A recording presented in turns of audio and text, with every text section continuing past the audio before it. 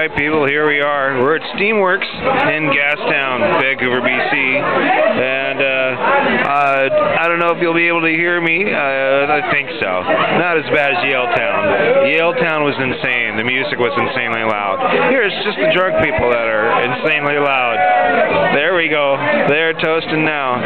Anyway, so I had a, a seven-shot uh, taster here. Uh, had some interesting stuff.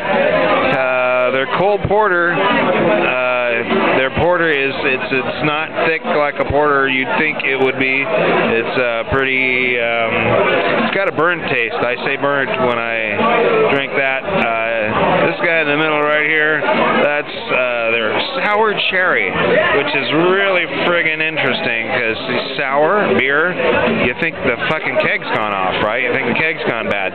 So having a, a purposefully sour beer is an interesting experience. Um, it tastes okay, but you can't help but think, it, is it is it okay?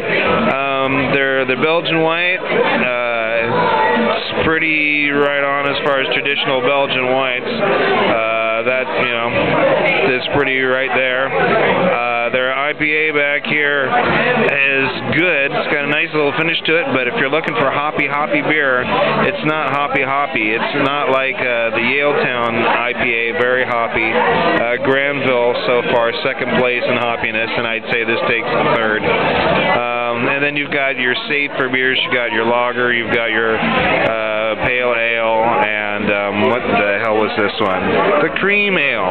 There's a lot of people doing cream beers up here. Uh, and it's uh, it's actually good. I mean, they're all, they're all fairly good. Um, but uh, yeah, okay. Enough of my review of Steamworks uh, in Gastown, fucking Vancouver, BC. The Reganization of Canada continues. Woohoo!